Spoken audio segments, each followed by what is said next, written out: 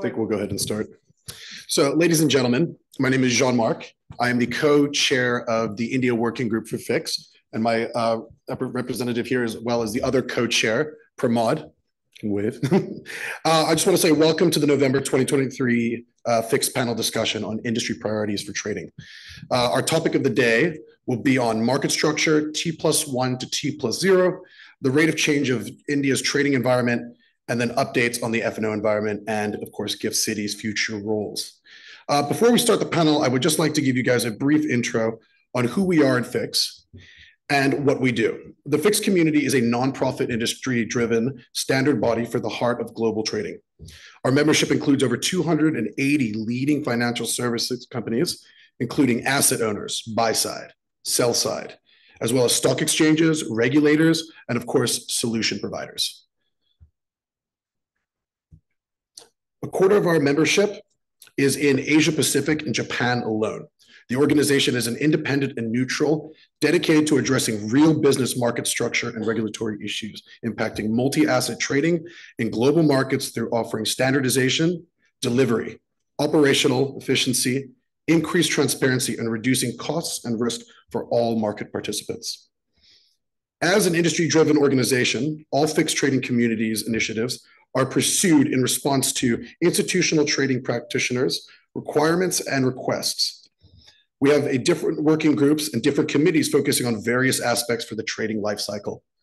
For example, the Exchange and Regulatory Committee, FIX Technical Committee, a post-trade committee.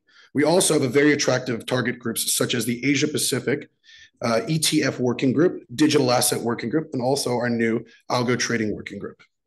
We will be announcing the Fix India Conference for this year, for the 21st of March, 2024. We will also be holding the Asia Pacific Trading Summit in HK. We will also be summit, uh, supporting the Singapore Fix Conference and the Australia Fix Conference coming into the beginning of the year. Um, as the Fix Working Group, uh, as the Fix Working Group co-chairs, myself and Pramod are welcome to ask any questions and inquiries uh, for being involved with the Fix trading community. So please come and ask us after the panel. Starting with the panel, we will have a little app called Slido. If you guys just want to take a photo of this one, if you have any questions related to the panel near the end, you can submit your questions there. And from there, we'll be able to answer them or bring them up to the actual panelists.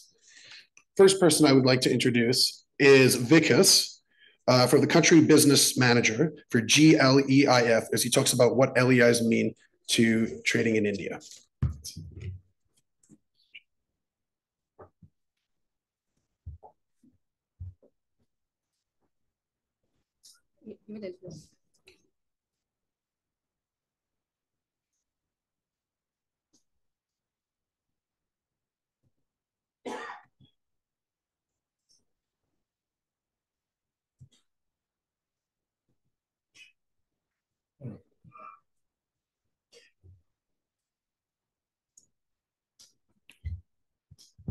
So very good evening, everyone. And uh, Many thanks to Fix community, first of all, for providing GLEIF this wonderful opportunity today. I think uh, to set the context, uh, what I've seen in last one year in my stint with GLEIF is that LEI, the legal entity identifier code, has been widely, you know, uh, complied with because there is a mandate directly coming from RBI, and now there are mandates coming directly from SEBI. So uh, I, I, I, feel I think it is the correct opportunity wherein I will make you all aware a bit more about how LEI can be used in your current processes. And I'll try to give you a bit of a background that how this LEI system came into existence. So uh, to talk a bit on the background of the LEI, so LEI actually came into existence in 2008 after the financial crisis, the Lehman Brothers collapse. So the public authorities across the globe acknowledged that their, their, their inability to identify party to the transaction, financial transactions across the globe, across the region, and across the products. So G20 in November 2011, Cannes Summit, have asked and called upon FSB, Financial Stability Board, which is also one of the international regulator, which provides its recommendation on the financial stability across the globe to develop a recommendation and create a framework or governance structure which can create a global LEI system. Subsequently, in the year 2012, in the Los Cabos summit, FSB submitted a proposal and it was endorsed by G20 in the leaders declaration. In the year 2014, GLEIF, which is a non-for-profit Swiss foundation, was created, which is backed by G20 and overseen by a regulatory oversight committee called the ROC. In the year 2012, when G20 endorsed it, in the same year, ROC charter was actually endorsed by the FSB along with the G20 finance ministers and deputy governors committee. So if you look at the structure, so GLEIF is a three-tier structure, which is actually overseen by a committee called Regulatory Oversight Committee. And I said it is a consortium of public authorities across the globe. Currently, we have around 65 regulators which are part of the Regulatory Oversight Committee, which has around 23 observers from 50 countries. So ROC has uh, uh, supervises and frames policies around the LEI system, and Global Legal Entity uh, Identifier Foundation, GLEIF, is actually tasked to promote the awareness around LEI and the adoption of LEI across the globe. GLEIF has created a network of LEI, LOUs, which is called the local operating units or the issuers of LEI across the globe. We have around 37 uh, accredited partners who are issuing LEIs across the globe. Uh, to name a few, we have few stock exchanges as well, like London Stock Exchange, NASDAQ, uh, Euronext, and uh, Tokyo Stock Exchange. And companies like Bloomberg are also issuers of LEI. From the Indian market standpoint, LEIL, which is a 100% subsidiary of CCIL, is the first LOU which is from India. NSDL is also in the process of accreditation. We have around 2.5 million LEI already issued. Now I'll talk a bit more about LEI as a standard. So LEI is just not a code which is which has to be complied because of RBI circular. There's a bit more than that. So LEI is a 20-digit alphanumeric code, and which is itself ISO standard. It is ISO standard called ISO 17442. If you want to have more details, you can anyway search the standard and read more. So probably just to give you an example, I've, I've taken a snapshot of our uh, global LEI index, wherein it shows the LEI of National Stock Exchange. And if you look at the screenshot, it shows two levels of information. One is the level one information, which shows you the business card information. And the other aspect to it is the level two information, which is the parent and ultimate child relationship. Who owns whom? So LEI is not just a compliance which you have to adhere to. You can anyways access our global LEI index by going directly to the website, or you can also consume our APIs and get all this information. As I said, our objective is to collaborate and is to provide you a entity identifier which is interoperable and interoperability can't be done until unless we collaborate. So what we have done at GLEIF is we have entered into a collaboration between all the major identifiers which are well accepted in financial market, like you, you use BIC code and BIC code issued by SWIFT. So we have done a cross-mapping arrangement with SWIFT, BIC and MIC. We have done an arrangement with ANNA. And uh, ANNA, uh, you know, uh, is the main body which is actually which manage uh, various NNAs across the globe. There are around 29 NNAs which has actually adopted the cross-mapping arrangement. And uh, in India, from Indian market standpoint, SEBI and IFSC are the two NNAs in India. They haven't yet adopted the standard, but uh, the mapping arrangement, but they might also do that. Uh, we have also done a cross-mapping arrangement with S&P and Open Corporate. It means if you go to our database and you search an LEI code, you will easily get the reference of the ISIN which is issued against the LEI or the BIC code or MIC code already issued. Talking about LEI in the Indian regulatory landscape. So RBI, as I said, the Regulatory Oversight Committee, RBI is an active representative in the Regulatory Oversight Committee from India. Similarly, we have representation from uh, ESMA, SEC, PBOC, and various other public authorities. But RBI has done a wonderful job in terms of adoption of LEI in India. And from the year 2017, RBI has uh, has actually uh, done a wonderful job, and a lot of other jurisdictions are taking precedence from it. So in 2017, RBI mandated LEI for OTC derivatives market firstly, and then in 2018 they have further extended it to the non-derivative market, the money market. IRDA also joined uh, this initiative, and they have also mandated LEI for for the insurers who are doing transactions above 50 crores. SEBI in 2018 mentioned about LEI in, in the KYC. Uh, they've given its recommendation for the EFEs in commodity derivative markets, but they haven't mandated it. They've only recommended that LEI can be taken as one of the identifier. In 2021 and afterwards, RBI has done something which no other jurisdiction has done. So RBI has included LEI in the payment system. So uh, currently, RBI has mandated LEI in the cross-border transactions. So all the AD category one bank has to mandatorily take an LEI from the corporate if a transaction is more than 50 crores. Similarly, if any transaction happening in the domestic market, RBI has included LEI in the messaging structure of RTGS and NEFT. So the messaging structure of NEFT RTGS, LEI of beneficiary and originator has to be there if a transaction goes beyond 50 crores. RBI has also extended this mandate for borrowers. So can you believe it that by 2025, all the corporate entities having a group level corporate exposure of more than 5 CR has to mandatorily take LEI and report. So this is the extent to which RBI has gone, and this is definitely going to bring a lot of LEIs in the system.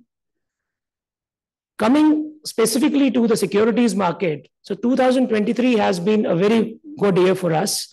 And as you have as already mentioned, that there has been no direct mandate till yet from SEBI. But in 2023, SEBI has amended the FPI regulation. And while reviewing the FPI regulation, they have mandated LEI in the KYC documentation of the foreign portfolio investors.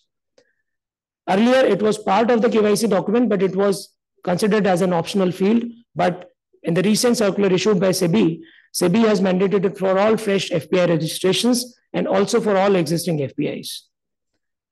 They've also asked that to ensure that LEI is always active because LEI is not just a number which is which will always you know uh, uh, be same. It has to be renewed every year. It has to be active because data gets obsolete, gets redundant.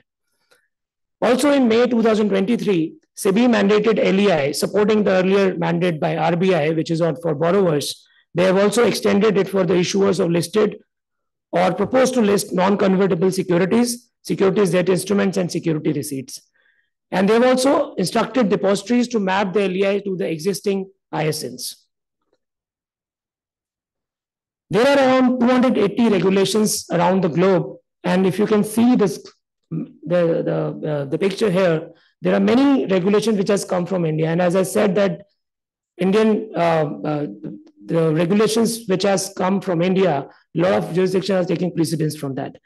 And this is the reason, if you look at the global LEI numbers, 6% of the LEI population comes from India alone.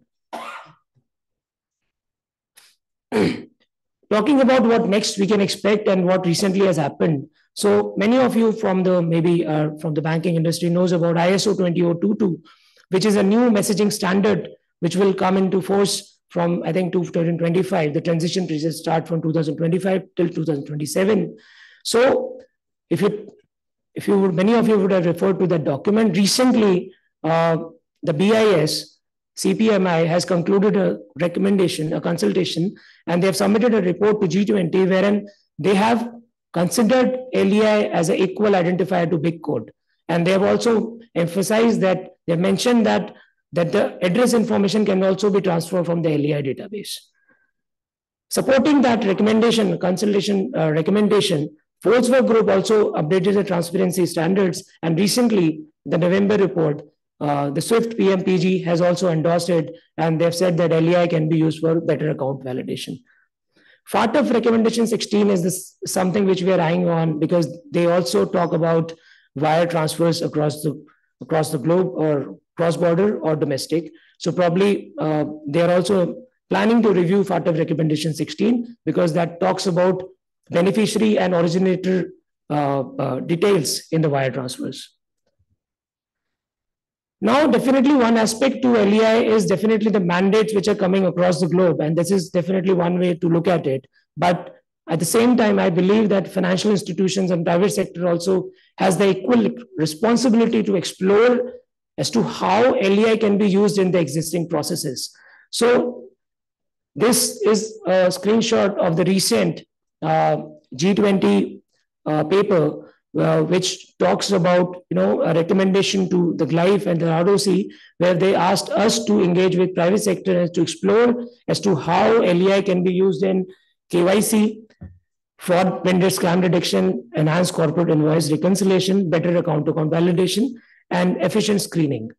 So maybe these all areas can be looked at by all of you, and because there are chances if you use LEI directly and use our API, there are chances that you can provide faster KYC to your end clients and a lot of costs can be saved. Coming to the end, because I don't have much of time, I think I need to conclude. And the last presentation is about the validation agent framework, because as I spoke about the entire ecosystem, I think financial institution can also support the LEI initiative, which is a global initiative, by joining and collaborating directly with any of the local operating unit it could be any LEI issuer, it could be LEIL in India, it could be Bloomberg, it could be anyone, and facilitate direct issuance of LEI to your end client rather than advising them to go to some LOU to get the LEI. So this is something which you can always look at and feel free to reach out to me offline for any questions. Thank you very much.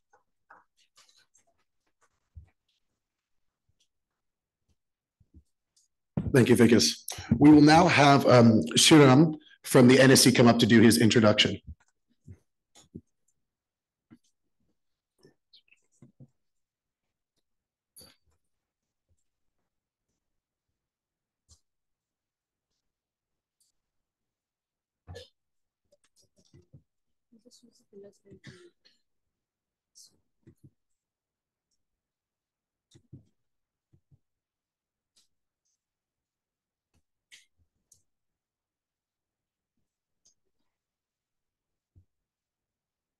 Well, thank you. My name is Sriram Krishnan. I am the Chief Business Development Officer of NSE. Very happy to be here in this FIX event. Thank you for giving us the opportunity. And I look forward to the deliberations. I also take this opportunity to welcome all of you. Thank you.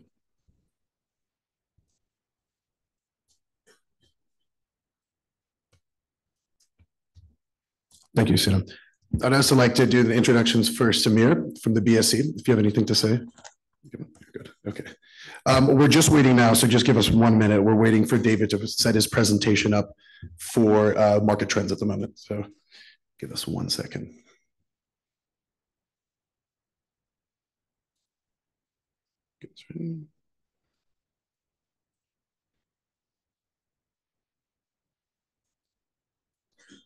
Sorry, give us about one minute.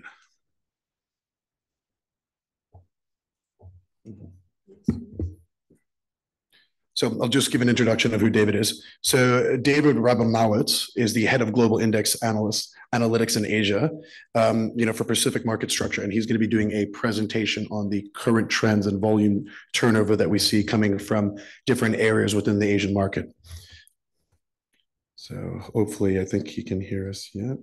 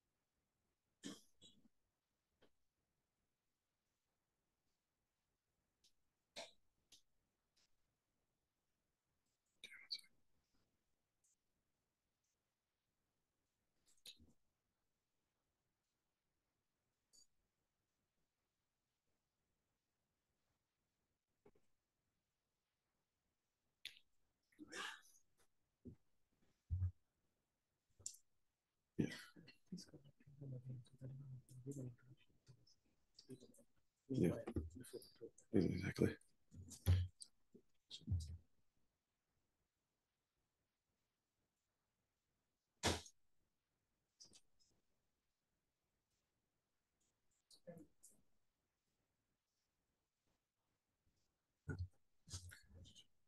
Okay, given that uh, we have a few minutes before David logs in, uh, maybe I'll take this opportunity to just sort of speak a bit about NSE, what's happening in the market, and also, you know, give you some uh, flavor of what you can expect in the weeks, months ahead. Well, as you know, NSE is today the largest derivatives exchange in the whole world and has been so for the last four years on the trot. This is as per the data from the World Federation of Exchanges. And over the past many months, I should say in particular, ever since the COVID pandemic began, to be very precise, we've seen a huge surge in retail participation. Almost every month, about two and a half to three million demat accounts are being opened.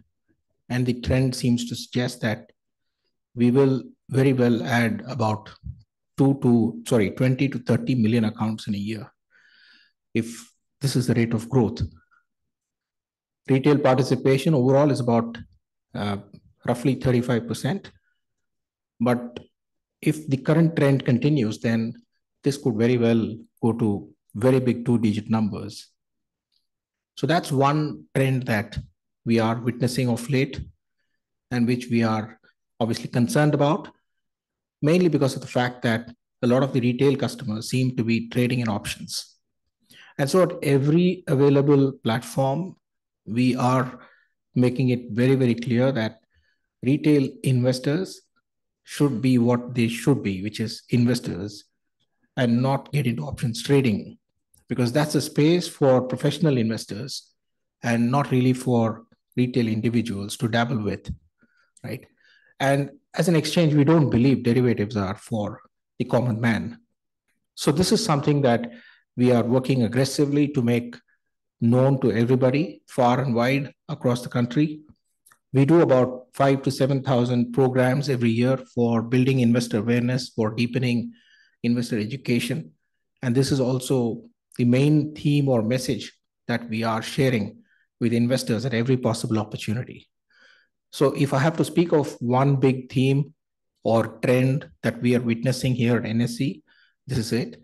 And this is broadly what we believe, uh, you know, we should be sharing with all of you as well today, as uh, some of us are also investors in the market.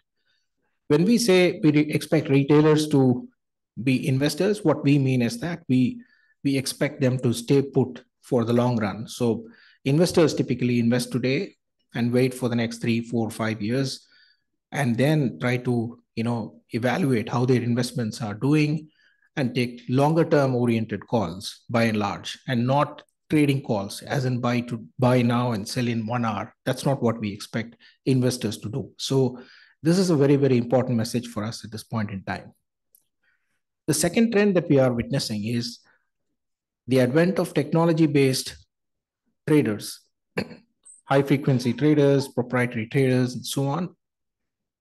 Now, we've always had algorithmic uh, trading permitted for institutional clients.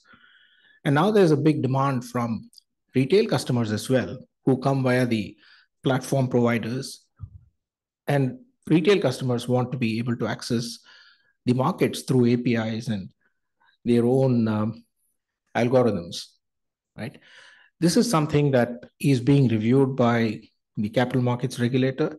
As today, there are plenty of sources from where a retail customer can obtain an API. How safe are these providers?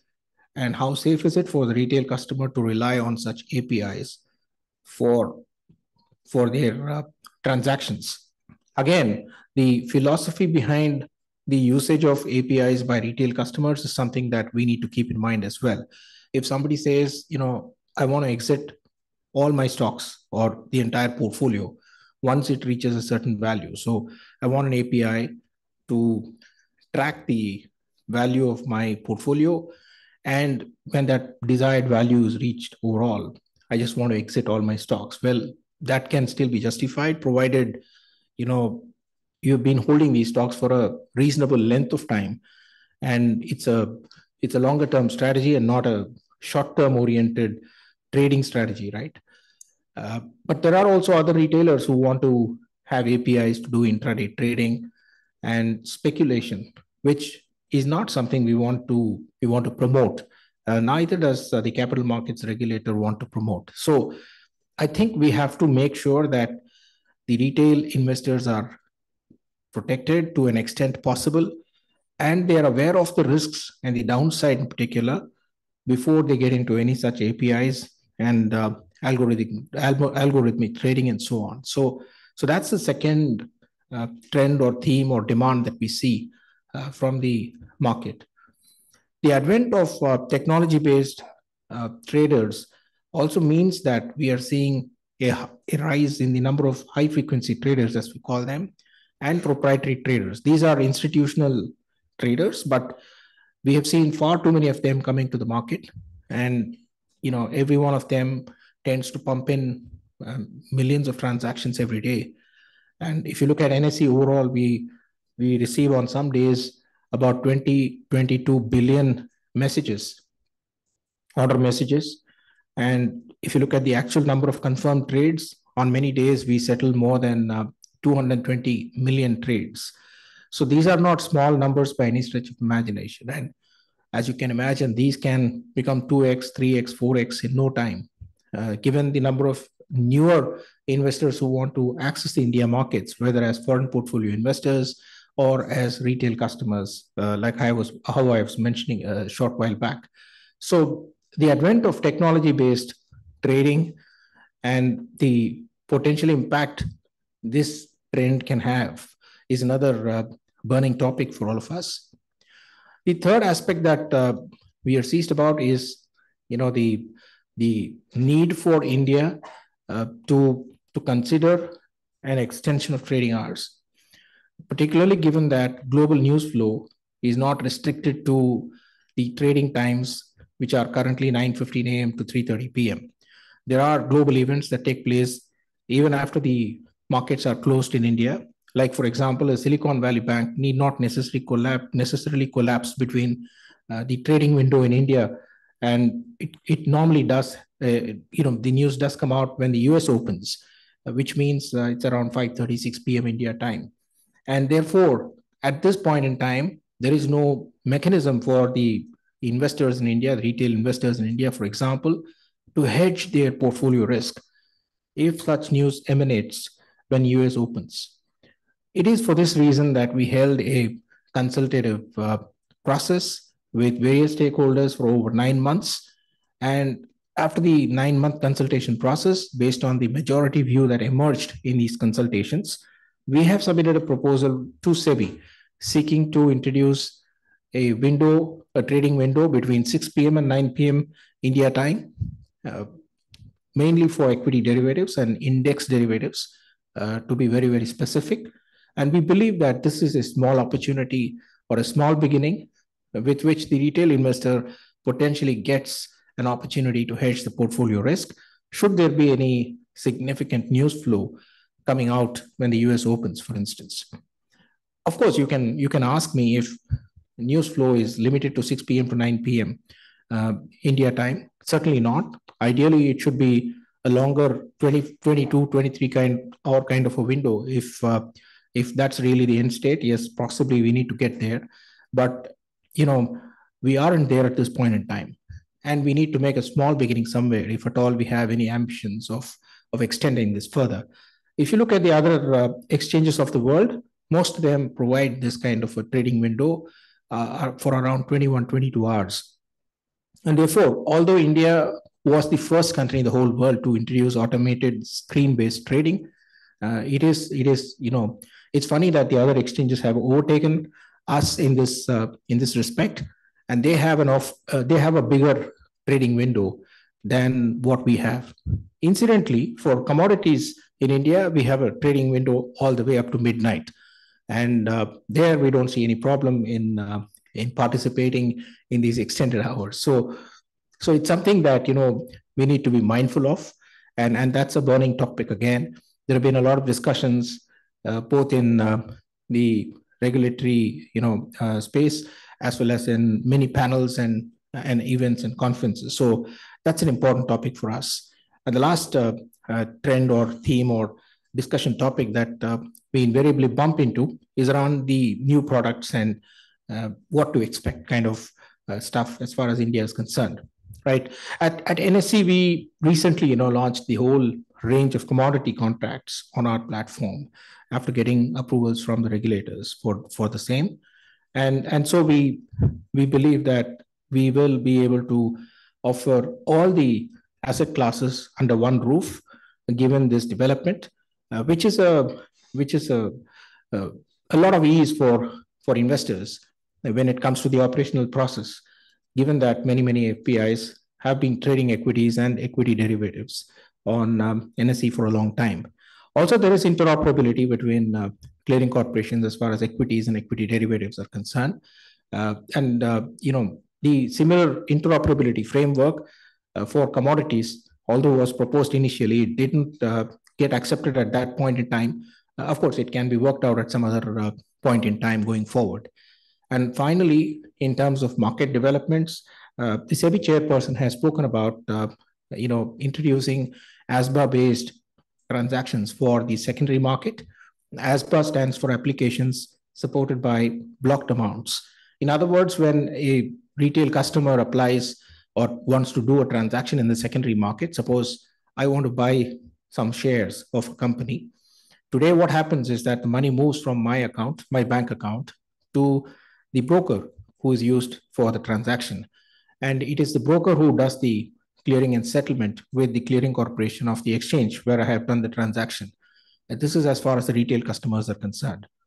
And therefore, the funds actually go through the broker to the clearing corporation. Likewise, if I sell as a retail customer, then the securities tend to go through the broker uh, to the clearing corporation. This is the current framework. And as you can imagine, there have been some accidents in the past, both with funds and securities.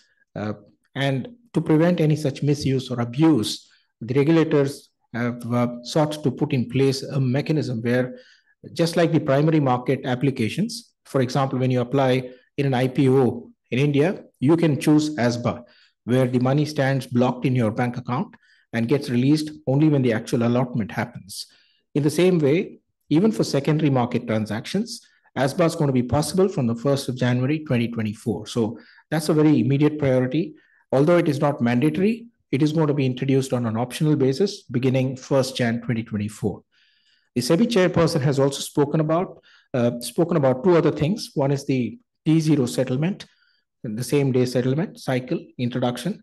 And uh, this is something um, for which some discussions are on. A consultative paper is going to be issued by the capital markets regulator, and the consultative process will then throw up the way forward. And therefore, please look out uh, and you know go through the consultative paper when it's issued by SEBI, and that will then form the basis for any discussions, inputs, and decisions thereafter. The SEBI chairperson has also spoken about an instantaneous settlement framework for uh, retail customers largely. Uh, of course, this uh, she indicated that is something which will happen by the end of 2024.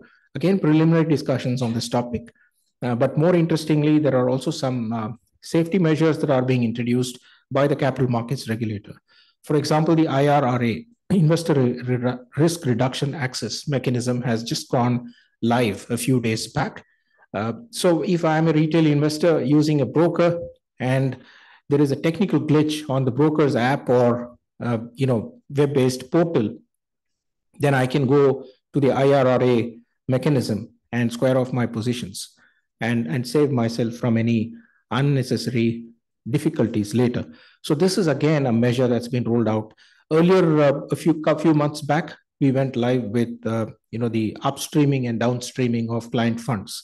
This is an this is a measure measure that was rolled out to make sure that funds of the retail customers are safe and uh, they don't stay in the broker's account at all. So by end of day, brokers are required to send them across to the clearing corporation. So as you can see, uh, while there are a number of changes, and also keep in mind the T plus one settlement cycle went live last year, And, um, you know, there was a lot of planning and preparation for T plus one rollout and, and it's gone through very, very seamlessly.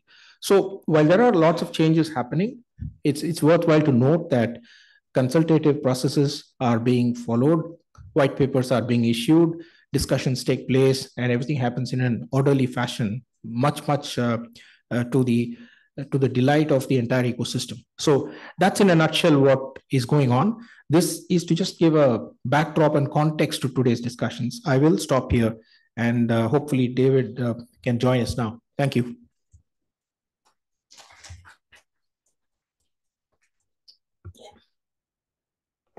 Okay, guys, as the fact that uh, Dave is just having still a few technical difficulties, we're going to jump straight into the panel.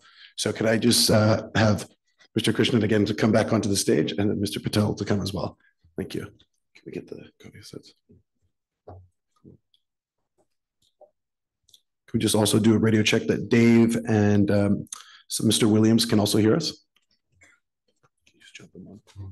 I can hear you. Can you hear me? Yes, sir, we can. Is that you, Dave? Thank you. That's Simon, actually. Oh, Simon. Hey, Simon.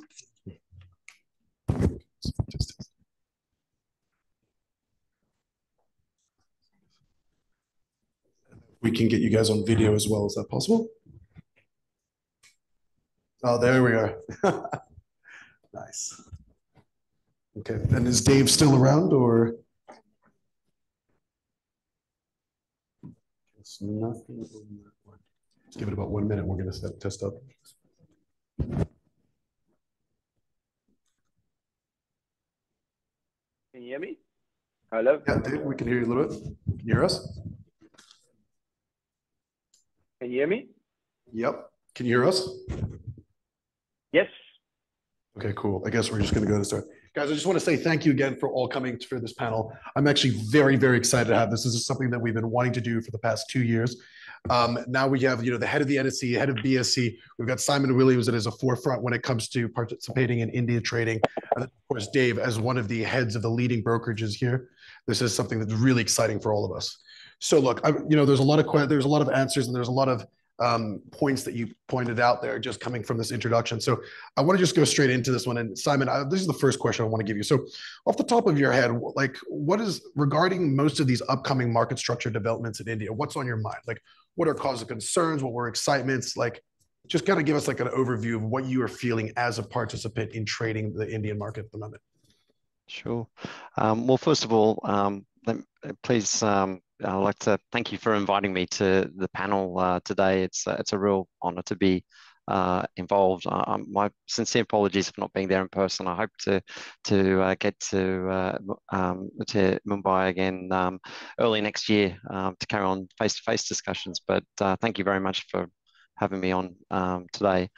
Um, look, I, I, think probably before answering the question, may, maybe um, if I can kind of go back a, a, step and just in terms of what uh, we've been focused on in India, and that I think can then shape why what uh, we're focused on at the moment um, as a as a as a group. So, um, you know, Sriram kind of highlight you know a lot of um, you, know, you know, really big initiatives. Uh, T plus one um, obviously was uh, was the major one that really kind of woke everybody up um, to to be involved, uh, and it became very apparent that it was uh, important to be um, very hands-on um, and be uh, present and active in those discussions to ensure uh, that uh, we got as uh, uh, you know, uh, as good an outcome as we possibly could with uh, with respect to uh, to T plus one. Um, look, and you know, and I think uh, on the whole, that uh, experience, you know, for the entire industry, you know, really demonstrated, you know, what really quite constructive and great things are possible when all segments of the ecosystem uh, together. And I know that really kind of fits in well with the concept of FIX uh, community, but I don't think we would have got, um, you know, a, a, result that we currently have uh, for T plus one without the FPIs, the domestic players, mutual funds, brokers, custodians, and exchanges all working together in a trusted, constructive manner in order to kind of deal with, um, you know, a lot of the many issues that came across uh, the way. Um, yes, and you know, and look, issues, created opportunities. It's built some very good relationships, uh, I think, for the for the for the future, um, and you know, shapes what I think is possible uh, in the years ahead as we we look to kind of contribute and develop um, and enhance the uh, the Indian market ecosystem. Um, so thinking back, what what were things that I think uh, that made uh, T plus one as successful as it as it was? Uh, well, first of all, there was kind of clear direction, I think, and aspiration. There was, you know, there was no shortage of aspirations of getting to T plus one, uh, and and that was very clear, and it was became very clear to the industry that it was important to get on on board for that. Um, I think as a result, uh, the the industry, um, you know, came up with a series of red lines um, that um, you know made it possible to kind of work towards and discuss and negotiate. So, for example, the the, the FPIs um, you know wanted uh, for the clear benefit of the market, uh, not to, for the India to become uh, pre-funding. Uh, it didn't want India, uh, you know, we didn't want, uh, I suppose, to to have to execute our FX transactions at a, a non-recognized period of the day. And I think very importantly for the and you know framing for a lot of the other discussions we're going to have today is that no one real no one wanted the level of failed trades or hand delivery tra trades to increase uh, from a T plus two environment in the T plus one environment. Um, so that was really important, and I think set up some really good, um, you know, uh, parameters for us all to um, to work uh, work on. Um, I, you know, and and I mean, as a result of of that, I mean, in terms of my any of my kind of interaction and certainly conversations I have with anybody who is is is is thinking about being involved in trying to shape uh, and and develop uh, the Indian market future, future, I always kind of bring that in mind and and the the constructive manner that all parties worked in.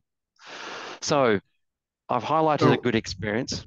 Um, but in terms of things that you know, I think uh, you know we're, we're looking to kind of really focus on at the moment. Um, you know, there's a core um, aspiration to kind of you know what what can we do to reduce the um, the cost of doing business and and the frictions uh, in in the market um, you know what what is it that um, we can learn from other jurisdictions that we can apply uh, in in the Indian market um, and you know how do we manage the risk of those changes and and and make it uh, you know work well i think um, you know uh, more recently, there's been a lot of um, issues uh, and burden around account opening and maintenance. Um, and that is an area that uh, certainly has got a lot of airtime, uh, I think, in, in the industry groups, and you know is is is definitely uh, at a stage where you know people can consult, get together, and work out the the right results for the future. Um, I think, um, you know, as we're looking to kind of reduce costs and, and, maximize efficiency, you know, the, the, the whole concept of kind of repatriating uh, proceeds and trade netting, um, I think many will know that for FPIs, there is a, obviously the, the tax withholding process, which reduces any ability to net proceeds at the moment, which uh, creates inefficiencies and talk about that later in context of other uh, questions. Um, and, you know, and especially as we're thinking about moving to T plus one, that will be absolutely essential. Um, and then, you know, from a trading considering uh, perspective, I mean, FPIs and, you know, and myself included, are always talking around kind of, you know, how do we efficiently do block crossing? You know, how do, what are the guardrails uh, we have in all markets, including India, uh, sufficient for our needs? So the circuit breakers. Um, and, you know, and in the case of, you know, a market which does have a very, very large uh, index proportion as well, uh, closing auction. So those are the things that we're mainly focused on. Love it. Absolutely love it. Look, I think we're going to jump straight into this a little bit more and get into the details, right? But you know, the, the first thing that you brought up was T plus one, right? And I kind of just want to go back to both of the exchanges here and just ask, like, what were the challenges that you guys faced? Like, what were the benefits and challenges of transitioning into T plus one? Samir, if you'd like to start. Oh, you'll do, up to you, both of you. Any of you want to start and just kind of give us a discussion of like when you know SEBI announced that you know this discussion of transitioning into T plus one. How was it for you? Well, how did you handle it? Well, the initial announcement obviously, you know, led to a bit of uh, discussion in the marketplace because the initial announcement suggested that exchanges had the freedom to choose which stocks to put out on T plus one basis. And then when it was highlighted uh, they took they took immediate measures to you know get all the market infrastructure institutions together to make sure that there is an orderly mechanism which is made public in terms of how these stocks are going to move to T plus one across the exchanges. Mm-hmm. And when this was published at, by the market infrastructure institutions, it became very clear to all the stakeholders that this was not going to be rushed through. On the contrary, it was going to be a, a few stocks every year, sorry, every month, mm-hmm. 500 stocks to be very precise. And therefore, it was a very orderly movement of 500 stocks each month to the T plus one settlement cycle framework, beginning with the bottom stocks in terms of market capitalization. So what it did to the entire market and the stakeholders was that it gave everybody a chance to test this process out. And the market, the market infrastructure institutions also got a chance to make a gradual shift. And therefore, towards the end of this entire one year long transition, when we reached the top 500 stocks, we knew exactly what was needed to make it a success. And the foreign investors also had already tasted the process because some of the stocks that they hold had already gone on to T plus one a couple of months before the final 500 went live. So I think the the best uh, you know way to implement something like this is to do it in an orderly fashion in a piecemeal way rather than approaching it in a big bang uh, in a big bang way that's a big learning for all of us in fact that was the apprehension in the initial stages but i think the the phased introduction of t plus one was the perfect recipe to succeed in that situation apart from that obviously everybody had to carry out changes on their systems and processes uh, because we were talking about stocks being available on T plus one basis in parallel to stocks, other stocks which were going to be on T plus two basis. So this meant that we had to run two settlement cycles in parallel, which is quite a quite a humongous task, any which way you look at it, for the clearing corporation. And added to that, the fact that there is interoperability in India between clearing corporations, it makes it very complicated. But I think all of the market infrastructure institutions, as well as the regulators, and of course the investors and the uh, the brokers and custodians, like Simon mentioned, everybody came together and helped each other to make this a, a roaring success. Thank you for that. Yeah, thanks, uh, Simon, and thank you for having us here today for uh, this uh, session. In fact, uh, Sriram spoke about the existing uh, T plus one uh, uh, how it terminated into a T plus one and how I looking forward for the T plus zero, so on and so forth. But uh, in 2001, I could I can uh, remember that SEBI had introduced the rolling settlement cycle and how the entire industry at the stock uh, exchanges have trans transformed itself from and transmitted itself because there was huge de uh, defaults, uh, delivery defaults, so on and so forth from a, a rolling settlement process from cycle from in 2001 to uh, T plus 5, 2002 introduced, uh, and then T, T plus 3, and eventually seeing the ray of light of uh, uh T plus one. It's it's been a very very long way, and the way it has been implemented, it is in a very very structured way, starting with few stocks and eventually ending up uh, on a on a uh, on a uh, continuous basis on a T plus one basis. So it's it's a long way. Uh, India has progressed. The stock exchanges in India has progressed uh, throughout this last 20 23 years of existence. Thank you. I appreciate that. Okay, look, so I just wanted to reach out to Dave. So this is kind of just like a build up to what our main question is going to be. So, Dave, do you want to just give us a little bit of insight on, you know, on the brokerage side of how this implementation was dealt with on your side? How easy was it? Were there concerns? And then, you know, um, what are things that you think that could have been done better, handled by both your firm or as well from, you know, the exchanges and, you know, SEBI kind of talking about this? Hi, thank you very much for your time, everybody really much appreciated. Apologies for the technical issues earlier. Um, yeah, I, I, guess from a brokerage perspective, an international side, um, shortening settlement cycles does create a little bit of pressure from our perspective in terms of ensuring uh, ensuring settlement uh, processes are, undertaken uh, in a timely manner.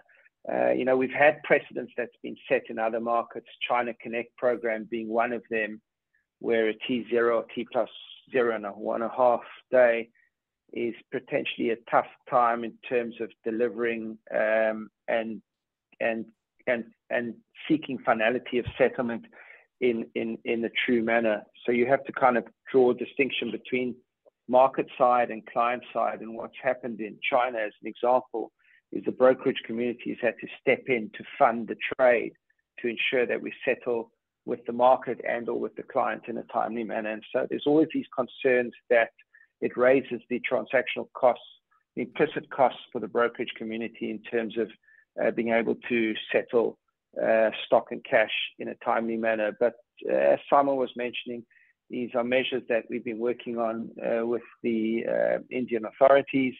Um, I guess if you look at global markets, there is a continued shift across global markets to move to a tighter settlement regime. So there's a behavioral approach that needs to be undertaken. There's a lot of work that needs to be undertaken with the partnership with the custodial side of the trade to ensure that all mechanisms are in place in a timely manner to, to, to settle.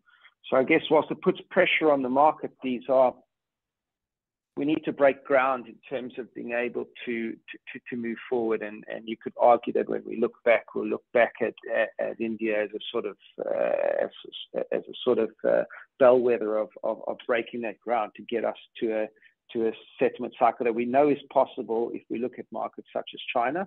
Ideally, we'd like to get to a situation where the brokerage community is not necessarily needing to step in to fund a trade to ensure settlement in a timely manner, that the processes are involved that allow for direct settlement where the brokerage community doesn't have to step into the middle of that transaction.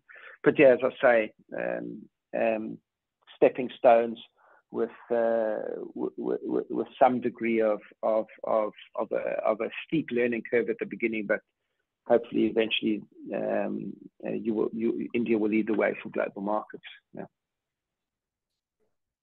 percent agree with you there. And so, look, Simon, this kind of comes into this next question. You know, I'm going to bring this first back to the exchanges before throwing it to you, Simon. So, look, now we see the idea of India pushing into T plus zero, and we're looking into see this is going to be for 2024 in the early to mids 2024. You know, can you guys give us an update on this change and how it might impact the exchanges and how you guys will be able to process this? Well, like I mentioned earlier, a short while earlier, uh, there is going to be a consultative paper that's going to be issued by the capital markets regulator. And obviously, everybody will have a, an opportunity to submit their viewpoints, which will all be taken into account before any T plus zero framework is actually announced by the regulator. That's what we've been told in discussions. And T, T0, if it is it technically possible to achieve? I mean, the answer is yes. Technologically, we, we can deliver even instantaneous settlements. That's not, that's not a big deal. The, the challenge for us is to make sure that all stakeholders uh, who are allowed to participate in this, in this segment, if I can, if I can call it so, are able to participate in a meaningful way. Right. So that's, I think, the lookout of uh, the regulators as well. And they have also assured us that this is going to be implemented after taking into account all the pros and cons and it's not going to be rushed through, nor is it going to be undertaken if there is going to be any significant impact on the liquidity or uh, the order book per se. Obviously, nobody wants fragmentation of the existing order book or any unfair advantage to any particular segment of the stakeholder community. So I think uh, overall, you know, this is going to be another phased uh, discussion-based approach from the capital markets regulators and therefore we need to be looking out for the white paper as and when it's issued. Just to that one as well. Do you think that there's going to be a possibility that when SEBI announces this kind of structure, that it might actually just be focused solely to retail to start this off, or was this something that you know foreign institutions and domestic institutions will come in at the same time, or something maybe gradually later? No, so there are many questions to obviously get into here. Like for example, if foreign investors are allowed to participate in this space, how will they take care of the funding arrangements because uh, of the geographical time zones? Uh, because the trading time gets over by 3.30 p.m., for example. Exactly. Which is already, you know, time to go home for people who are ahead of India on time zone. Right. And therefore, these things need to be worked out. Obviously, for T plus one, we were able to manage with the 7 a.m. confirmation deadline. Mm -hmm on the morning of T plus one. That's how it worked eventually. That was the major, major reason for uh, T plus one becoming possible for the foreign investors in particular. So we'll need to look at some of these aspects in uh, greater detail. And that's why I think the consultation paper is a good idea as a starting point. And who knows, it may not be open to all the stakeholders to participate in. Maybe it will be restricted only to the retail customers. We don't know what the eventual framework is going to be, but uh, we need to look out for the consultation paper. Okay. Uh, it, it is definitely, uh, uh, it will be very interesting to look how it will evolve. In fact, uh, we are looking at a universe of more than 1400 members, more than 140 investors in India, the foreign participants, institutions, so on and so forth. So the uh, how it's going to evolve is going to be very interesting. Second, the challenge would be if a trade, uh, the trading session ends on a day, how will the custodians react, the settlement react, and you should have enough time to do that. So uh, it, it has been, uh, there's a transformation from T plus 5, T plus 3, T plus 1, and T plus 0 will definitely happen, but it will have to wait and watch how does it evolve. Whether, whether it will be in a structured way or uh, we, will have to wait and see how it will. Simon, this is going to come back to you on this one. So question that I have for you, just kind of like backtracking all the way for this T plus zero settlement. Do you think it's possible that the international, you know, international institutions can adopt or take on such a challenge, right? I mean, like, what are some solutions or something that you would request for help, maybe from the exchanges or from the brokers, to be able to go into this transition if potentially you go into T plus zero? Yeah, sure. Um, look, I mean, it's a it's a it's a much more it's a far different proposition to talk about T plus, uh, zero uh, than T plus one. Um, and that's for sure. Um, you know, you, are talking about some some fundamental changes to the way in which uh, you know the, the, ability to move fund, funds around the world uh, in in when when other markets are not on T zero uh, as well is is definitely a challenge. Um, it's just about cope. Uh, you can just about cope with it in a T plus one environment, although uh, it is very important to recognise, as as David was highlighting, that you know we we already have quite a lot of inherent risk that has we've had to accept. Um, as part of the ecosystem to move to T plus one, um, the OTR deadline, for example, at 7:30 is, um, you know, is is is quite is quite a bit significant earlier than than it was when in the T plus two environment, and um, you know uh, we need to worry about that. Obviously, you don't even have that um, in a in a zero environment. I'm not even sure what that kind of looks like. Um, but effectively, it would mean um, that the market becomes ordinarily uh, pre-funding, um, which is if you remember from the, the, the red line outlines that I had for that we presented for the T plus one was an was a direction that um, the international community in particular didn't want to go to. Um, it was going to be difficult for, for that and, and create a lot of challenges, especially around kind of rebalances uh, and, and major rebalances as we see in India, as India is you know much higher weighting of, uh, of many indices than it, than it has been in the past.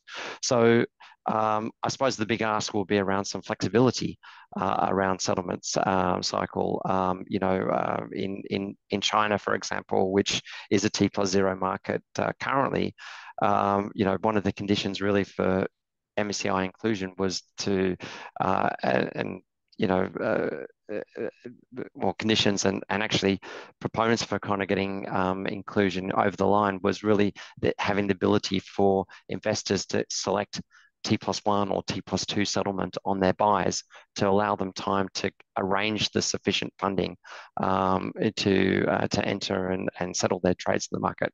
You know, David has highlighted the inefficiencies that's caused because brokers have had to fund that, which is never ideal and, and adds to the additional cost uh, for the market. But it's going to take a while, I think, for the entire um, international community to be able to trade in, in India, fund in India, and settle in India for T plus zero when they may need to kind of raise funds uh, in the US um, and effectively settle trades before they've even been traded uh, in the US. Um, that's going to be a real challenge. So I think flexibility in settlement cycles for international community is going to be absolutely critical um, in, in in making that happen. Appreciate that. Um, look, so you know, just pre- kind of based pressed off time here. I'm going to just kind of skip out of the extended trading hours and I'm going to kind of jump into something of more like the rate of change for India when it comes to market structure. So this is a question back to both exchanges. Um, look, as India starts to take the stage for the leading emerging market with you know increasing volume turnover, what are the ideas and concerns that you would have as as it exchanges, like you know, to keep a pace of such a rate of change? Will you expect this to, uh, rate of change to increase? Do you expect market structure to keep continuously going as it is? India is a developing country, and in any developing country, you have to expect a number of changes to constantly take place because we are work in progress, uh, to put it in a very mild way.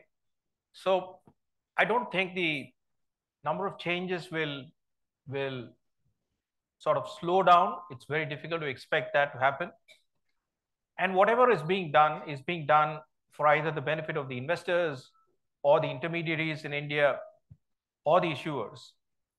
At the end of the day, I think India is what it is today because of the quality of the companies that are listed on the stock exchanges. And the quality of the companies is ensured by a high quality corporate governance framework that's been stipulated by the regulators. So if you ask the issuers, they will they will have a complaint about so many disclosures disclosures to make within 30 minutes of the board meeting time, so many filings to make, and so on. But that's what makes these companies look so good for investors to pick and trade. Likewise, you know, the the intermediaries have had to go through a number of changes and, and stipulations. Uh, but I think it's for the greater good. And many of the many of the stakeholders today appreciate that what's been achieved in the last few years, for example, is making India look much better than what it was. The safety and the efficiency have gone up significantly. And so I think that's the big picture that we need to we need to look at and be happy about what we've achieved as a collective ecosystem. Change is in inevitable, isn't it? And what we have seen over a period of time, uh, nobody imagined to, uh, to uh, 2020, 2020 everybody would sit at home and start trading uh, in, from their laptops and their iPads and their desks. Uh, that was a change, and technology has been a key enabler, isn't it? Uh, we've seen the markets grow. In fact, when we uh, everybody at home, everybody thought that the stock markets, uh, whether the stock markets will be on, running, so on and so forth, whether there will be settlements, yes or no. There were a lot many questions, but eventually when the uh, markets uh, opened during the COVID and we saw a lot of investors, I can give uh, put forward some numbers.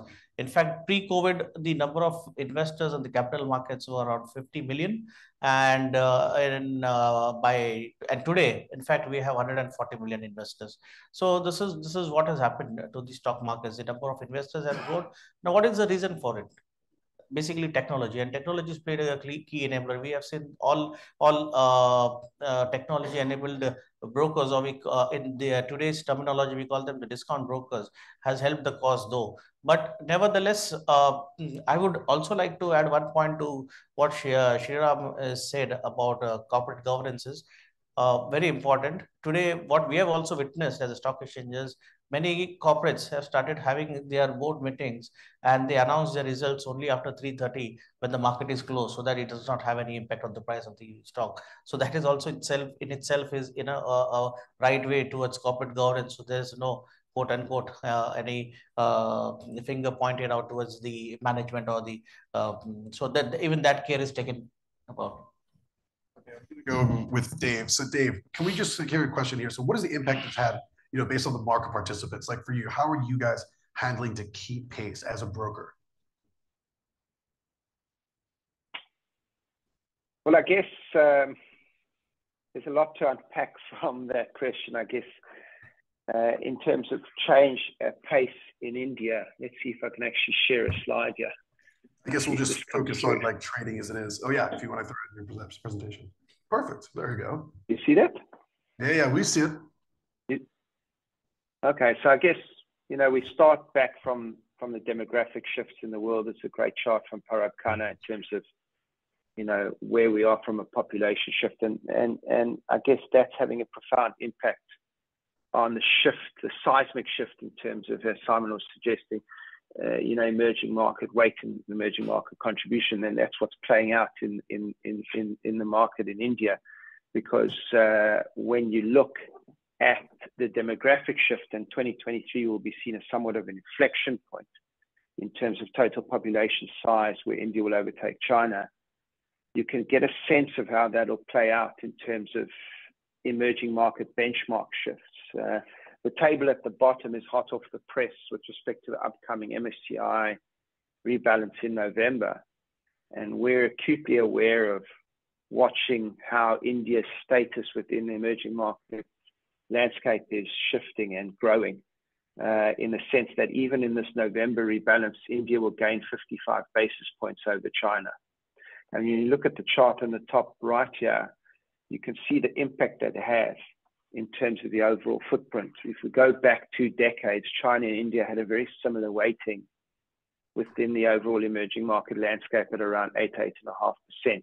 But you roll forward two decades, and we know the story in terms of regulatory reform measures in China, and you see that delta growing to around a 35% weight differential between China and India back in 2020. But since the unraveling in China as a result of common prosperity and uh, OFAC sanctions, executive orders, etc., concurrently you had uh, you know the Ministry of Finance and SEBI helping the cause by raising the foreign ownership uh, limits and gradually, you're starting to see this real shift whereby India's weight in EM has almost doubled now from 8% to 15.5. And actually, in November, it will be the first time ever that India will pass through the 16% threshold as a percentage weight within EM. So these shifts, and so that delta between China and India has contracted significantly. And we're watching this very closely because it has a profound impact in terms of investor compositions of benchmarks, investor uh, exposures. Um, and then when we talk in terms of benchmarking and both active and passive exposures, we look at matters pertaining to accessibility and replicability and investability, all these fancy words. But at the end of the day, when it comes to talking in APAC and emerging market terms, it's really about market access. And as we work together, regulatory authorities, exchanges, market participants, to ensure that we provide a mechanism by which it becomes efficient to transact in a market. And that has a number of key measures. It becomes a more worthwhile and interesting market from the perspective of the entire uh, liquidity spectrum from your long-only asset management community, your quantum systematic low latency community, or your retail participants, your domestic institutional investors, etc. So we look at this from the holistic perspective of growing the market from the from a perspective of market access and market efficiency. And so all these measures come to play to help us uh, drive forward to to effectively facilitate in, in growing these um, these markets in terms of access and exposure. Yeah. Simon, you want to jump in on this one as well? Yeah, I mean, sure. I mean, I, I, I mean, I don't have uh, a, a, too much to, to kind of um, add. I mean, I, I think, you know, maybe you kind of bring it back to the experience of the rate of change. I mean, I mean, obviously, um, you know, I, I, like I alluded earlier to the the huge amount of aspirations to kind of change things um, uh, and the like, and, and and I suppose one of the things to look it, it look backwards is, you know, are we giving enough time to the market to kind of really work out and consult to kind of create these changes. Um, you know, we we you know the, the constructive manner uh, that we were able to kind of um, you know negotiate a phased approach uh, uh, approach to T plus one really really helped by the industry industry time to kind of solve a lot of these really critical issues and and like I said, got to a very very good good outcome. Um, but it's important to kind of look at uh, some of these changes that we've, you know, that we that have been developed in, you know, T plus one and, and the inherent risks that are still there. Uh, and what is it that we can do to improve uh, a lot of uh, those changes?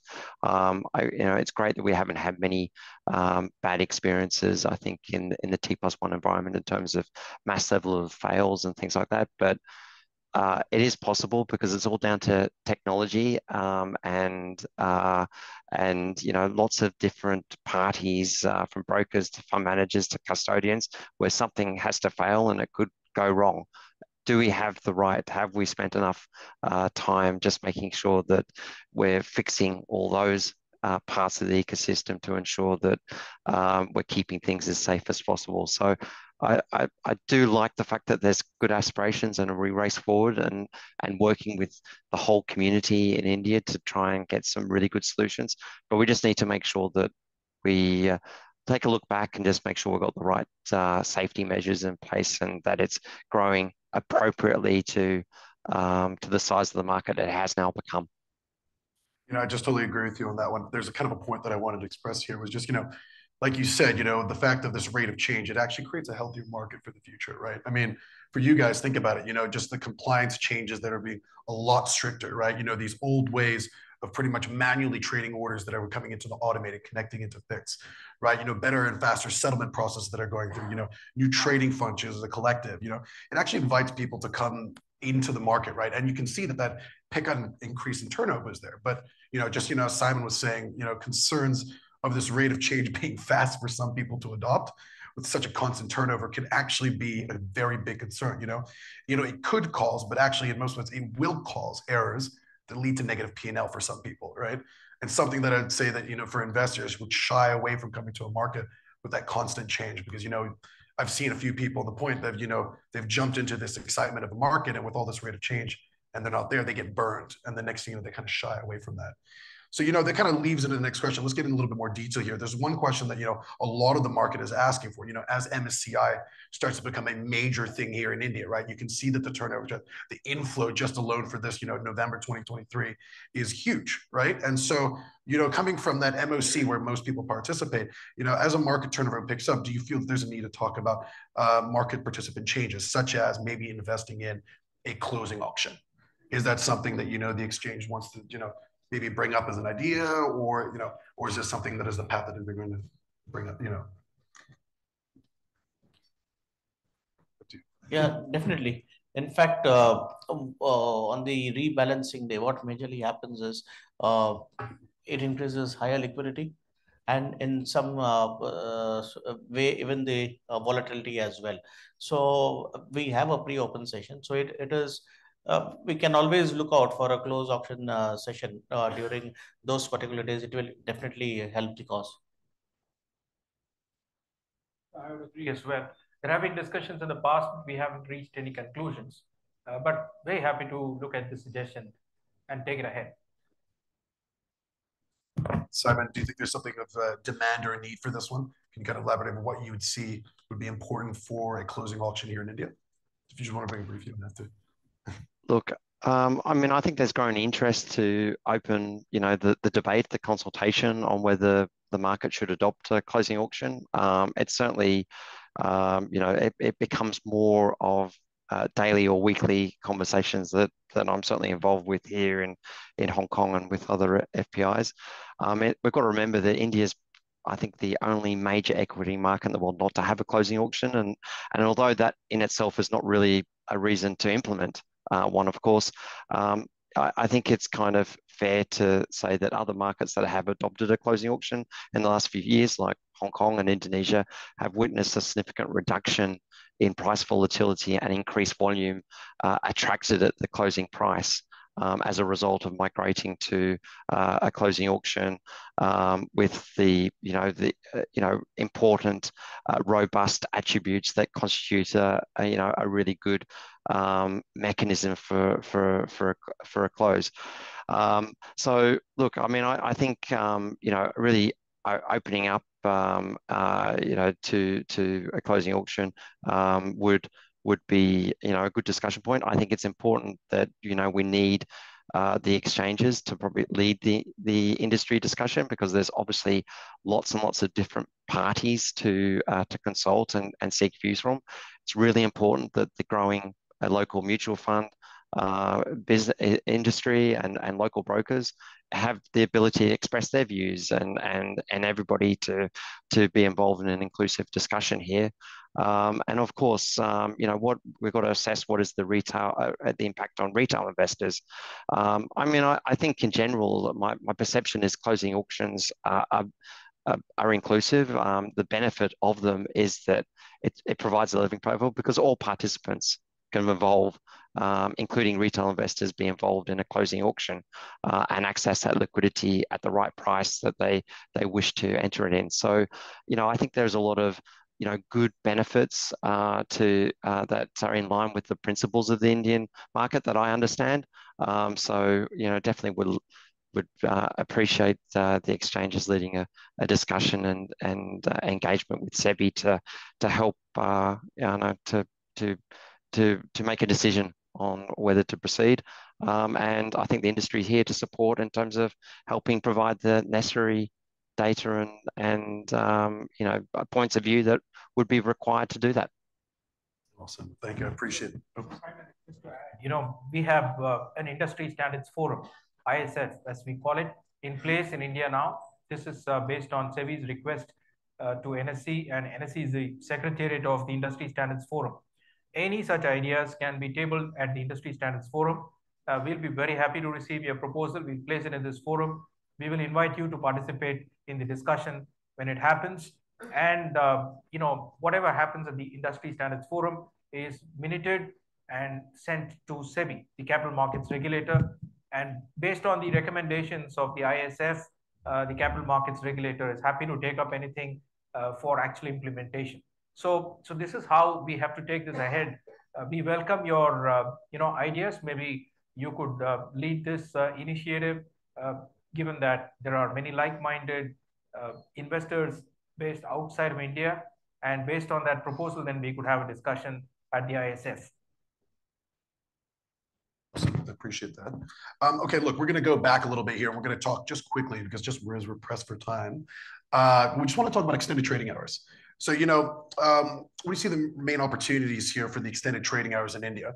Um, we know these extended hours to be maybe between 6 and 9 p.m. IST. Do we only see this on the derivatives side? Do you think cash will be included? Can you guys give us a little bit of an update of what you guys would see from this? Okay, it's it's uh, the National Stock Exchange that has submitted a proposal to SEBI for their consideration and approval. So I will go first on this. Uh, we have requested uh, a session between 6 p.m. and 9 p.m. only for equity derivatives and only for index derivatives uh, to start with. We could consider adding other products or we could alternatively consider extending the timeline from 9 p.m. to 11.55 p.m. at a later stage. But the proposal at the moment is only for a session between 6 p.m. and 9 p.m. and for index derivatives. That's that's all we've asked for. Certainly not uh, not not got anything to do with cash equities because the consultative process that we ran for about nine months clearly indicated to us that it's a big no, given that people have just sort of uh, settled down, I should say, after the T plus one settlement framework rollout. So this has nothing to do with the cash equity segment, only intended to provide a small window to the retail investors in India to hedge their portfolio risk should there be a global event that can potentially impact the Indian capital markets. So, uh, so is this a new in India? The answer is no. Uh, uh, the extended trading hours, the longer trading durations are on in the commodities market since 2003, uh, late uh, December 2003, when markets open at 9 o'clock. Uh, the commodities market started opening now at 9 o'clock, earlier at 10 o'clock. So 9 o'clock in the morning till 11.30 and 11.55 as per the US summer winter timings.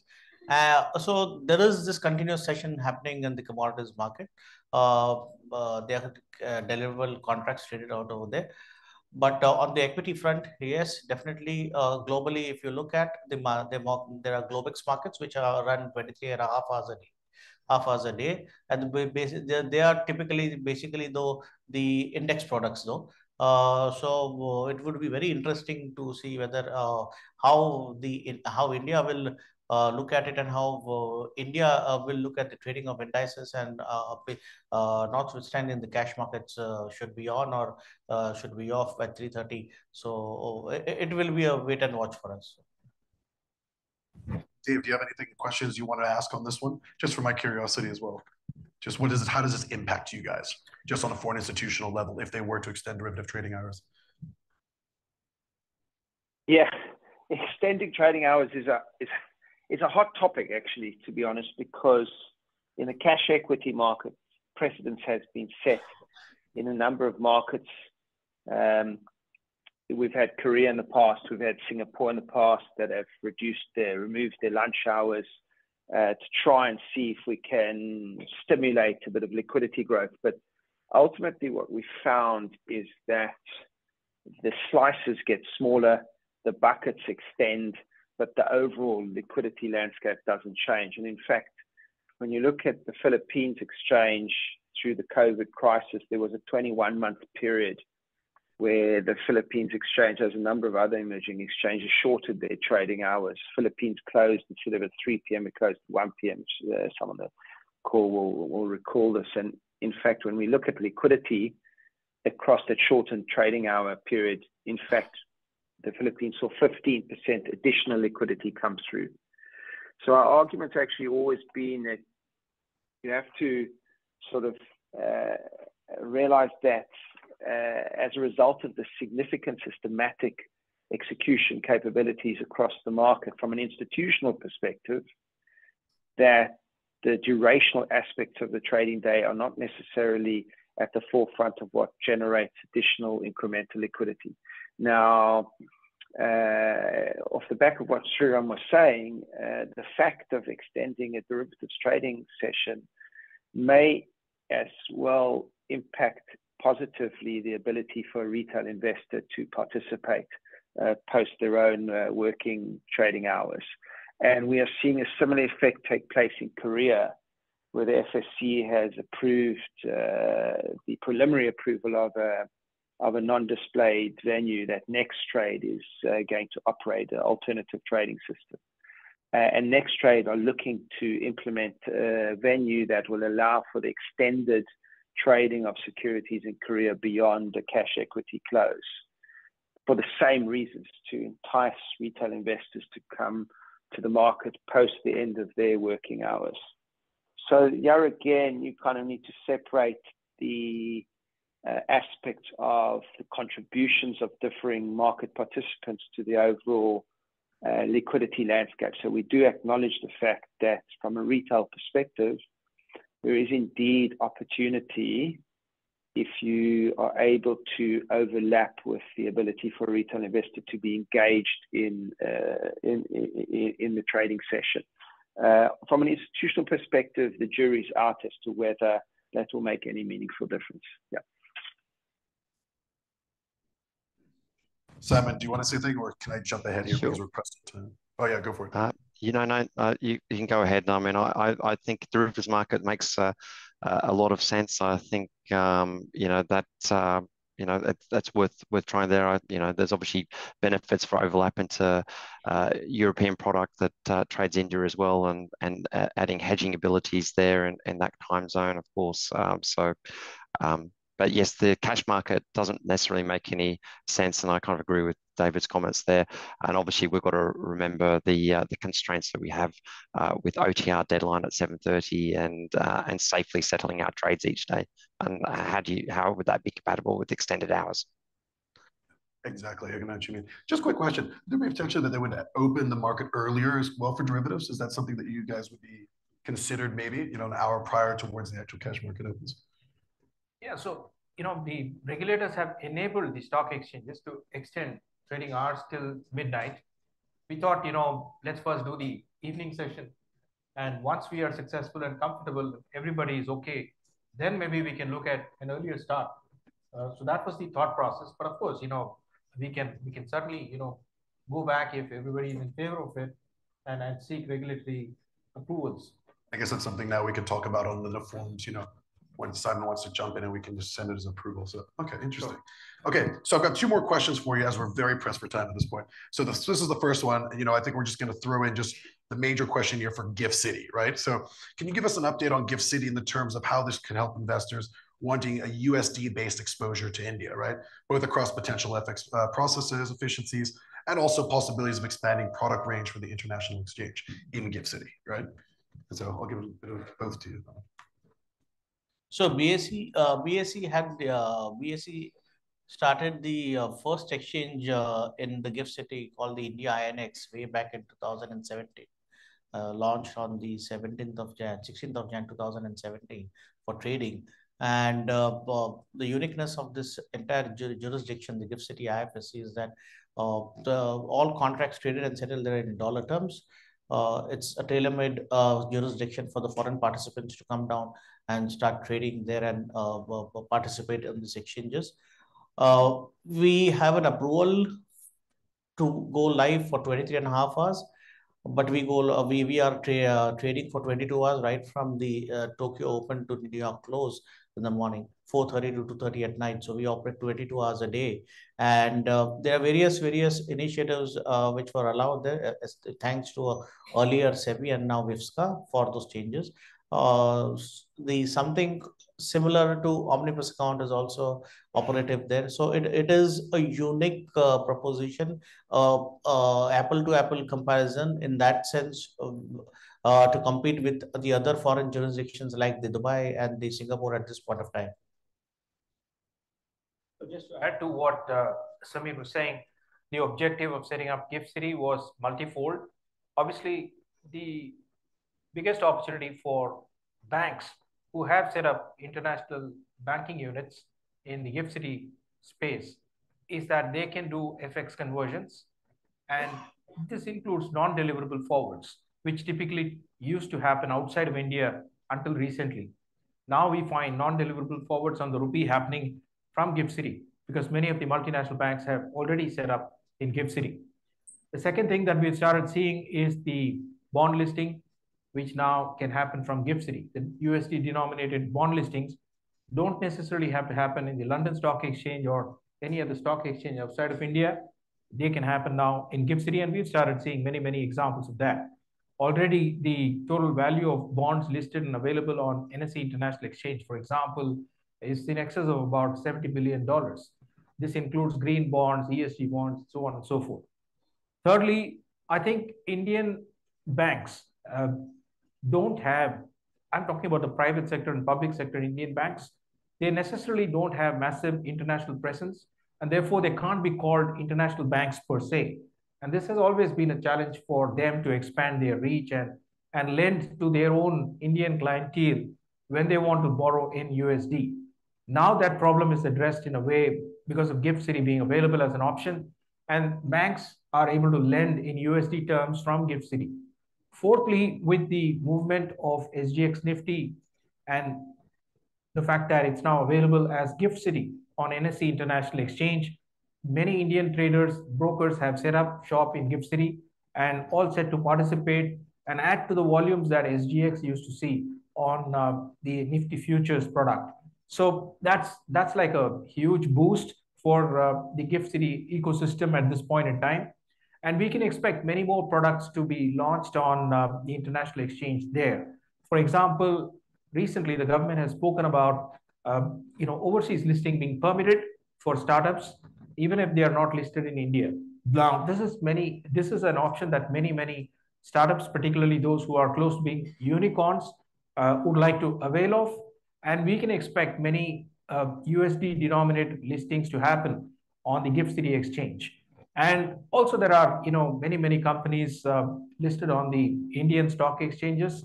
Now, we could have innovative products like, for example, the unsponsored depository receipts based on the stocks available on the National Stock Exchange, for example, to be available on um, the NSE International Exchange. There are also other products that uh, are being spoken about.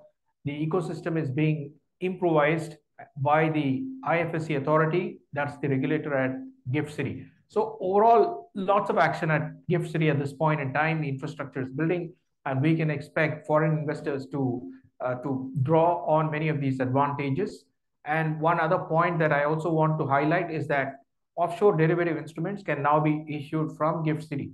Suppose an FPI is domiciled in Gift City.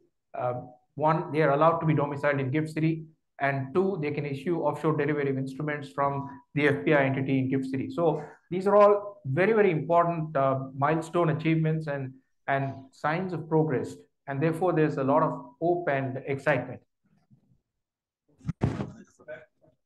Said, and just an update rather, uh, the India INX, the subsidiary of the BSE, also has a uh, a subsidiary called the India INX GA, which is the global access, which allows not only the uh, the broker members in, in present in the GIFT City IFSC, but also Indian investors who wish to invest in global stocks on global exchanges through uh, various uh, types that we have, and that allows you the Indian investors uh, to invest in global stocks in above in over 135 destinations globally. Simon, is there anything you want to add into the questions for this one, just for your curiosity before I finish up? Sure. I mean, I I, th I think um, Gift City in, in its entirety is we're keeping a close eye on it. Um, we're interested um, and obviously want to understand how it will play a part in our in, international investment uh, strategy. Um, I think you know it's been a very good start with the SGX uh, Nifty in its new home in terms of I'm, I'm talking about our kind of involvement in there. I mean the um, you know the uh, it has been very so, smooth. The liquidity is there. It's uh, it's it's settled in well.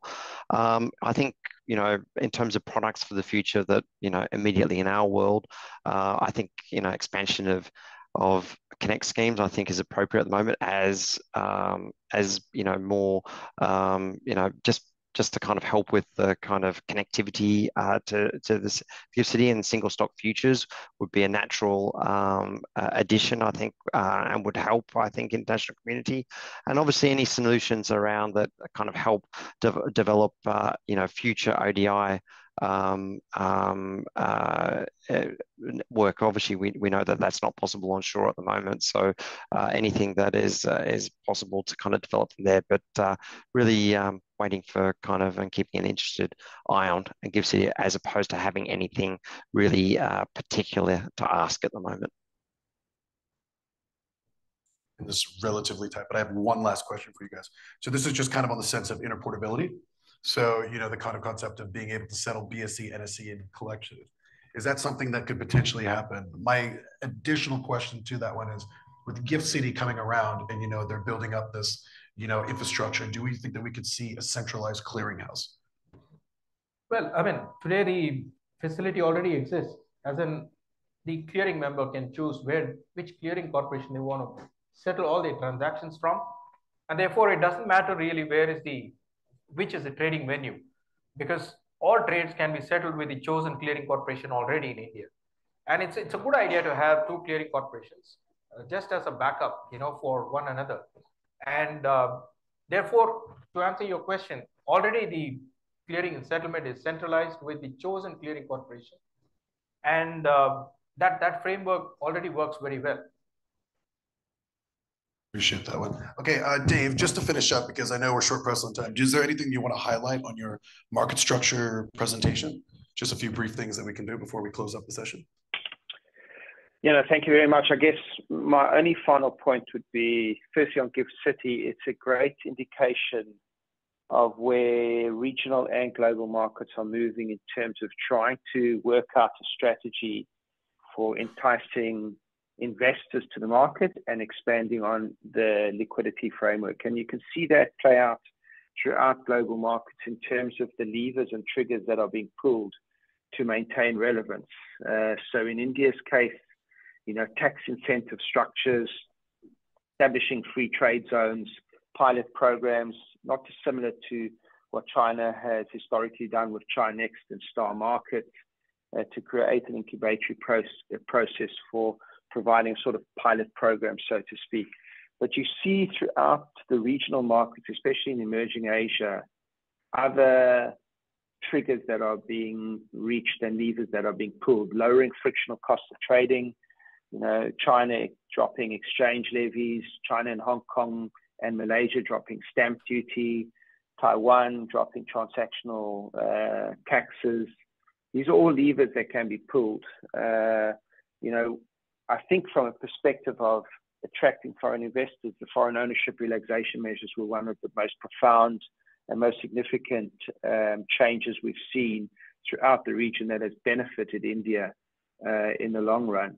Uh, from an organic uh, incremental pickup in liquidity, the China Connect scheme that has brought mainland investors into Hong Kong through southbound link has been significant as well. And I think that's probably the holy grail to try and find an organic segment of new liquidity to bring into the market. And finally, and probably most importantly, the enhanced listing regime measures to bring new unicorn, new economy companies into the market will really stabilize and bring new investor types into the market. So there's a number of levers and triggers that will be pulled over time, and we're quite excited by the number of strategies that uh, India Inc. is looking to implement that we believe will provide stability and a ubiquitous backbone of support to the market structure into the future. Um, so yeah, so that's that's where we're at at the moment. Thank you for that, David. All right, guys, I think we're just out of time here. So we have about five minutes left for any questions that are in the crowd or within Slido. Do you have any questions? Hey, John, I take that initiative. I, I would represent the audience, in fact, uh, from that. First of all, thanks. Uh, it was a great, I think you covered everything, uh, John, from, from the point what market is looking for. And uh, both Simon and David, thanks for your input in terms of market liquidity, uh, interoperability and uh, even with regarding to the um, you know the close auction which was very very important from the market perspective because the volumes that we are getting today and if with the um, uh, this close auction coming up, we will get more of the quant and the ETF flows coming to India. Uh, I would, uh, I, with the time, uh, time constraint, I will take up one or two questions. Uh, the first one was more going towards the exchanges. Will LAMA reporting framework be extended to all the brokers? Uh, basically, it is a question where it is a, a retail and institution would be there part uh, with the recent outages in uh, Zerodha and other brokers. So they're just checking if that framework will work with all the brokers. It's an important concept, and you know, it's a it's a mechanism by which uh, exchanges will constantly monitor and determine if there is any technical glitch at any of the broker uh, platforms. And if there is a technical glitch, then uh, suitable action can be taken up straight away rather than waiting for uh, a subsequent confirmation and reaction, if I have to put it in that way. So certainly, you know, the idea is to go live with everybody eventually. But I think to start with, we have identified a set of brokers with whom we will test this out. So we are well and truly going down that, that path. So what is important here uh, to understand is uh, the clients of those particular brokers who have been selected for this test run will be en- only be enabled to square off the position and not to add any other positions. Okay, so it would be as similar to, so it won't differentiate or it will come into bracket for both the institutions and the, okay, fine. Uh, I would take the second question, probably that would with, with the thing. Any specific regulation that govern the validation of the fundamental review of trading book, um, focusing particularly on the derivative desk and the institutions? I think again it goes to from the if anybody can. last question on that one. I think uh, other than that, it is all about uh, T plus zero and stuff, which already been cleared. So I think we can stop it here. Thanks. Okay, I just want to say, look, I want to say thank you again for the NSE and to Shriram for having us and hosting us for such an amazing event. You know, we got through a lot of uh, interesting questions and we have almost 600 participants that actually are online listening to us now globally to, to understand things. I also want to thank the participants. I want to thank you for Simon Williams. I want to thank David and I want to thank um, Samir for being on this panel and giving us your insights on the market views and where you see for market structure. And I want to also thank the audience for coming in and listening and asking certain questions. We will now be hosting an event just outside of the NSE here where we'll be having drinks and doing a bit of networking. And uh, yeah, if you guys want to go, thank you guys again. Thank you guys. Thank you. Thank you. Thank you. Thank you very much. Thanks very much.